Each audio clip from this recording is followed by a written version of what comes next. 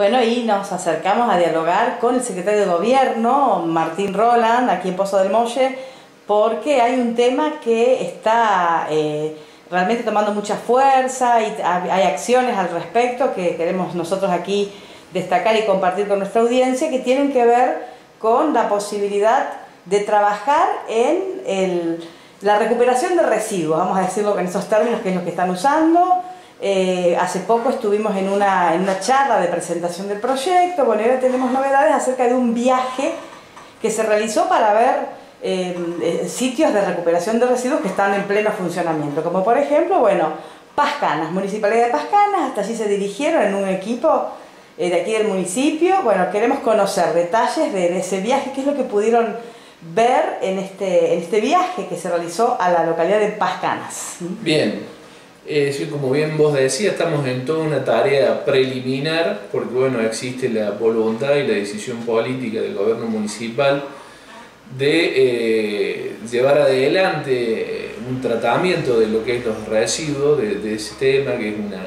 es parte de, de, lo que estaba en la agenda y es una cuenta pendiente en nuestra localidad y creemos que se puede desarrollar porque hubo experiencias inclusive a nivel local que fueron exitosas pero que no tuvieron la posibilidad de continuarse en el tiempo. Y bueno, en ese sentido, en un primer momento, bueno, ya estamos con la creación del, del, ente Ruta 13, eh, restan ahí algunos detalles formales para la constitución del mismo, y a, raíz de los vínculos que uno va generando, eh, bueno, nos hemos puesto en contacto con con Darío Barato, que es un consultor ambiental, que ocupó diversos cargos a nivel municipal, provincial y nacional. Es un experto en el tema ambiente. Eh, y bueno, nos ha ido orientando, es también quien está asesorando al ente en su constitución y en lo referente a lo que es, sería la, la posible planta de disposición final de ese ente, que es un proyecto a largo plazo pero bueno, nosotros consideramos que desde el punto de vista del municipio es una responsabilidad local el tema de la basura y debemos ir solucionándolo desde abajo hacia arriba y la primera acción debe comenzar por casa para que después estos entes asociativos se llegue a otro escalón y así sucesivamente. Eh, en ese sentido, él realizó todo un trabajo de investigación durante una semana en la localidad, que después fue presentado en una conferencia de prensa. Eh, ese, ese, ese, trabajo de investigación arrojó determinados números en los que hace a la basura de nuestra localidad. Más de alrededor de 40 familias colaboraron eh, durante cinco días para, para proporcionarnos su basura y se trabajó también se, destinó una parte de la planta municipal para, para que se llevara adelante y colaborar con este trabajo, así que agradecemos a todos los trabajadores municipales, a quienes recolectaban las bolsas, a quienes, a las familias que colaboraron, porque bueno, eso nos da un paneo general de cuál era la, eh, y científico de cuál es la situación en el pueblo, y a raíz de eso, eh, después también coordinado por él, eh, fuimos a ver experiencias que están en funcionamiento y en diferentes niveles de desarrollo. En una primera oportunidad tuvimos en la localidad de Pascanas, eh, que ahí hace un tremendo trabajo, Clarita Dalmazo es la encargada de, de, de, ese, de esa planta de residuos sólidos urbanos, así es el nombre que se impone por la ley de ambiente o sitio de residuos sólidos urbanos porque bueno, el basural a cielo abierto debe dejar de existir por la ley de ambiente. Eh, y bueno, ellos tienen, es una localidad más chica que la nuestra, también agradecemos a Rodolfo Filiponi, su intendente, que nos, recibió muy bien y se llegó hasta ahí y compartió vivencias y experiencias con nosotros. Eh, ellos hacen una recolección de tipo manual, tienen muy bien sectorizado el predio, también lo han desarrollado donde era el antiguo basural. Como les decía, bueno, fuimos recibidos por el intendente y la encargada de todo este, de, este, de esta área, del área ambiental. Ellos ahí llevan adelante la recolección en origen, no en una cinta, sino de manera manual, de manera, si se quiere, más precaria, pero con muchísima voluntad, porque la cinta que tenían ha quedado inutilizada y obsoleta y era poco funcional. Y ahí lo que nos interesaba es el desarrollo de ciertas maquinarias que ellos han ido adaptando e inclusive mejorando con mano de obra local. Y bueno, una de las, eh, ya están trabajando en la conformación de, de una cooperativa y tienen un, una persona ahí, un empleo municipal a cargo y un sistema muy solidario de, de explotación del, del, de la planta, eh, porque bueno, eh, es mucho lo que se puede reciclar, entonces eso vuelve a los trabajadores, inclusive ahí trabajan chicos de un profesorado que hay en, ciencias agronómicas y eh, son chicos de diferentes puntos del país, había chicos de, de Salta, de Neuquén, de Mendoza, eran cuatro o cinco chicos, más este empleado municipal, eh, y que lo hace para solventarse sus estudios, así que bueno, es una experiencia más. Después eh, fuimos a la localidad de La Aborde, allí nos recibió Karina Sosa, es la encargada del área, después también estuvimos reunidos con la intendenta María Elisa Vidal, que nos recibió muy bien también y con mucha predisposición. Eh, para ver cuál era la experiencia, este sí es, un, es un, una planta de residuos sólidos urbanos, uno se tiene que ir acostumbrando al vocabulario un poco más eh, sofisticada, ya con una cinta, con una cinta horizontal, eh, bueno, ahí vimos como justo ese día de, recolección de húmedos va mucho a descarte. Eh, y, bueno, vimos cómo, eh, funcionaba el tema del, fardo y la prensa y toda la historia, que no lo habíamos podido ver en la localidad de Pascana, porque justo se le rompió la, prensa, que es una prensa desarrollada de forma manual y más grande. Y bueno, no, no, nos explicaban sus diferentes experiencias, en ese caso eh, han encarado de otra forma la conformación del, del staff con el cual se trabaja, entonces todo, vos vas viendo cómo a, a, un determinado problema todos van buscando diferentes formas, pero en definitiva el resultado final es el mismo. Y bueno, también después de ya casi 12 años que llevan ellos adelante con el tema de, de de la recolección diferencia de basura y toda la historia, bueno, nos daban cuáles eran los datos y son más que alentadores, un buen compromiso de la comunidad. Y nuestro recorrido iba a terminar para ver lo máximo que hay en el interior provincial al menos, y creo que en la provincia, que era Justiniano Pose, pero bueno, no nos dieron los horarios y nos quedó pendiente esa visita, que esa sí es una planta hecha de cero y realmente funciona como una industria. Nuestra idea es irlo desarrollando de manera paulatina a esto y con gran colaboración de la, de la, comunidad, por eso exhortamos a toda la comunidad que nos dé una mano con este tema, porque seguramente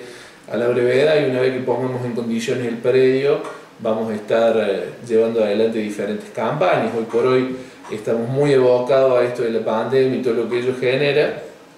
pero nuestra voluntad y es, es cerrar el basural a cielo abierto y estamos avanzando a paso firme en ese sentido. Eh, también existe la posibilidad de elaborar maquinarias ¿no? propias para poder trabajar aquí, eso es una posibilidad que vieron en Pascana. Es una posibilidad que vimos en, en Pascana, uno no, nunca para de sorprenderse para bien eh, la capacidad intelectual que hay en los diferentes pueblos y pasa en todas las comunidades de esta gente que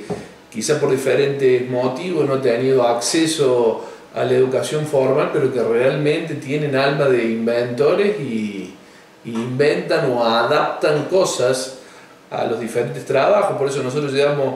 eh, trabajadores municipales que tienen esas condiciones y que están llevando un muy buen trabajo en, el, en el corralón municipal para que vean, porque hay una, una prensa que creo que es vertical y es más chica, para que vean cómo adaptar las cosas que ya tenemos o cómo generar eh, ciertas máquinas que las podemos generar desde aquí. Hay otras que indudablemente van a tener que ser o alquiladas, como es el caso de las chipeadoras, que se usan durante la temporada de poda generalmente, o eh, compradas, que es un anhelo, el tema de la de la cinta, fundamentalmente la cinta vertical es la que da mejores resultados, nosotros ahí vimos una horizontal, porque tiene más capacidad para almacenar eh, basura y, no, y hace que el trabajo sea continuo. Eh, En la planta de Justiniano Pose casualmente tienen de las dos porque se aconseja una para un tipo de residuo y otra para otro, pero bueno, eh, eh, en el caso de elegir una de las dos se puede trabajar con una de las dos, es mejor la vertical según los consejos de, de Dario, es barato. Bien, entonces eh, el próximo paso aquí en Pozo del Molle, vos decís que viene una serie de campañas, el comienzo, ¿cuál sería? El próximo paso y nuestra intención es regularizar el predio de donde funciona el basural. Bien. Eh, llevar adelante la tarea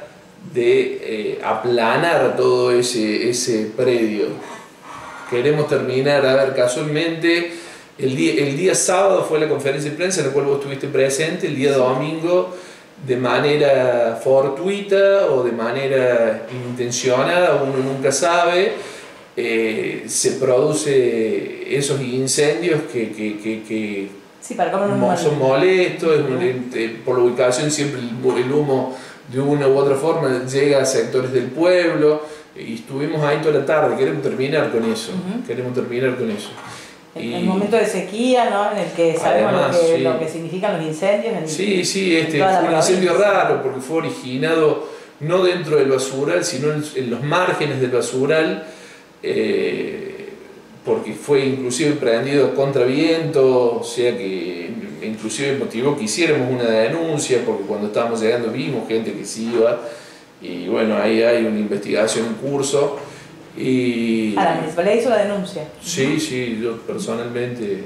vimos a personas que se, se estaban retirando y bueno, queríamos saber qué era lo que había pasado y bueno, motivó una denuncia y se los indaba a esta persona y manifestaron hay bueno, ciertas cosas son objeto de investigación, no quiero entrar en ese terreno, pero, investigación, pero, pero, pero era, era raro, porque se originó en las márgenes del basural, no dentro del basural, que siempre puede haber focos de incendio en, en, estos tipos de basurales, sino que era en las márgenes, se, se empezó quemando el yuyo seco de lo que es la planta de tratamiento de de Intelac que después derivó también en la planta de tratamiento de la cloaca. Eh, y agarró algo del, del, basural, pero el principal daño fue a lo otro y es el yuyo seco, cosa que nos llamó la atención.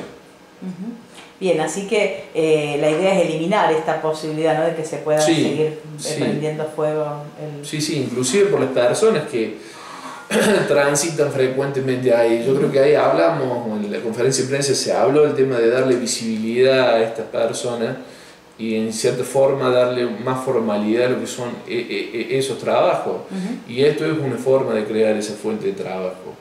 Eh, y evitar ese merodeo o el cirujeo constante y permanente que puede derivar en otras cuestiones. Ya lo digo, a ver, eh, quizás no con malas intenciones, pero bueno, puede derivar en otras cuestiones que nos afectan a todos. Y, además porque, bueno, es lo que manda la ley, es lo que manda la ley, el tema de los cierres. hay que hacerlo.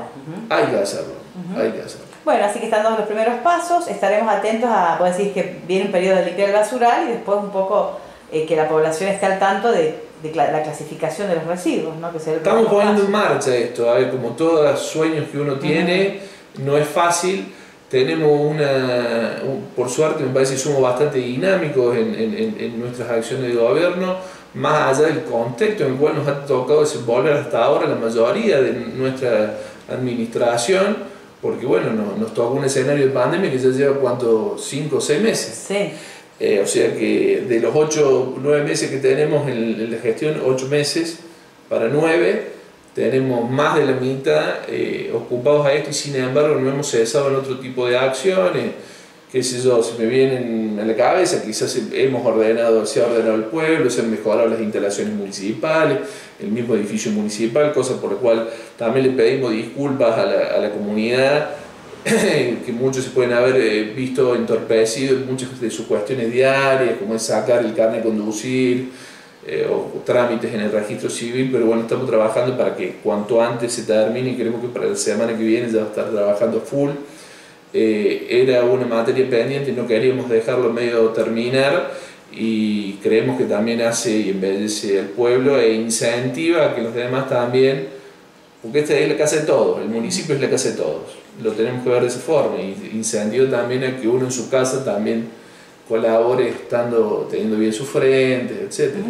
Se va a ver un cambio importante en, este, en este, esta refacción que están haciendo, remodelación del municipio. Sí, son, son refacciones que me parece que embellecen y modernizan el edificio. Eh, y, lo, y lo, se hacen también con una mirada estructural y, y, desde el punto de vista de lo funcional.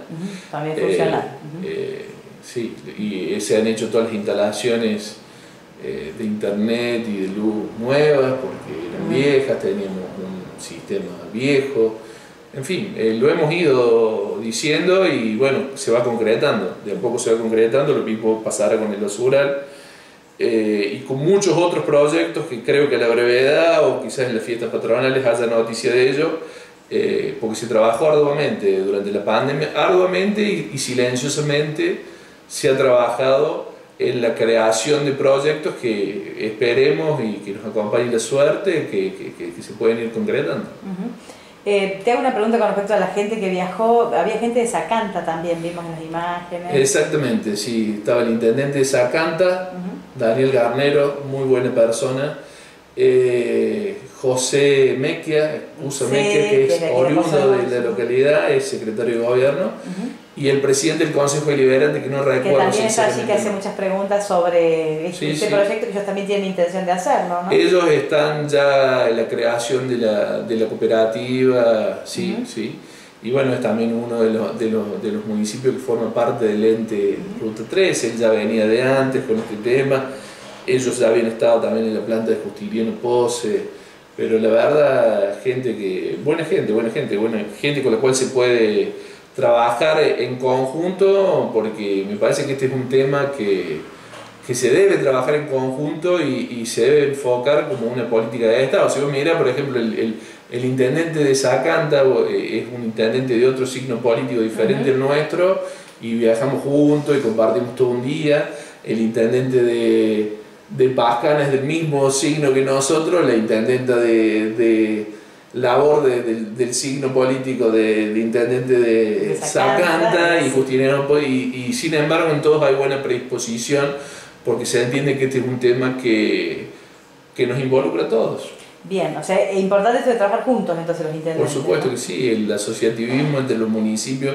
yo creo que es algo que se viene y fundamentalmente en temas como este. Bueno, muy bien, muchísimas gracias. ¿eh? A disposición.